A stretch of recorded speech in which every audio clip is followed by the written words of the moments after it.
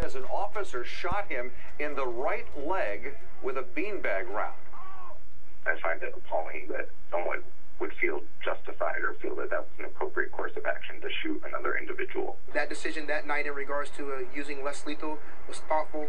It was uh, constitutionally ethical, as well as uh, in regards uh, it followed the policies set forth by OPD. Campbell is now suing the city along with the ACLU and the National Attorneys Guild.